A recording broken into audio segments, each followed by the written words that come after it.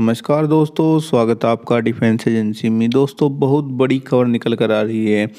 भारत की बहुत बड़ी लॉटरी लगी है। तो क्या है यह बड़ी खबर? चलिए शुरू करते हैं। वीडियो लास्ट तक देखना।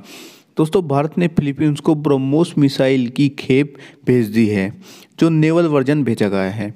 यह लगभग तीन हज़ार करोड़ रुपए की खरीद की गई है। दोस्तों, भारत ने तीन हज़ार करोड़ रुपए का हथियार एक्सपोर्ट किया है। फिलीपींस ने इस खरीद की पुष्टि की है।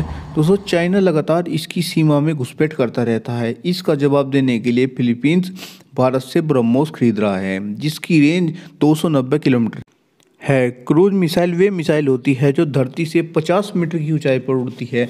इसीलिए इसे ट्रैक करना बहुत मुश्किल है। इसकी स्पीड पाँच मैक है। दोस्तों, ब्रह्मोस का अगला खरीदार वियतनाम हो सकता है, क्योंकि वियतनाम का चीन के साथ भूमि व समुद्री विवाद दोनों है। दोस्तों, अगली खबर पाकिस्तान से निकल कर आ रही है। दोस्तों, पाकिस्तान में चीनी fighter jet J C ten की खरीद की पुष्टि की है।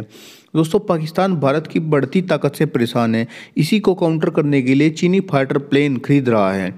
दोस्तों, भारत के राफेल के आगे यह कहीं नहीं टिकता। पाकिस्तान ने 2008 में इसकी खरीद करनी थी, लेकिन कंगाली के कारण 2022 में खरीद पाया है। जो 23 मार्च को पाकिस्तान परेड दिवस में भाग लेने के लिए समय पर आने की उम्मीद है। दोस्तों, पाकिस्तान के गृह मंत्री रशीद अहमद ने मीडिया से बात करते हुए बताया है कि 25 विमान खरीदे गए हैं। दोस्तों, आज के लिए इतना ही। मिलते हैं नेक्स्ट वीडियो में। तब तक के लिए धन्यवाद। जय हिंद।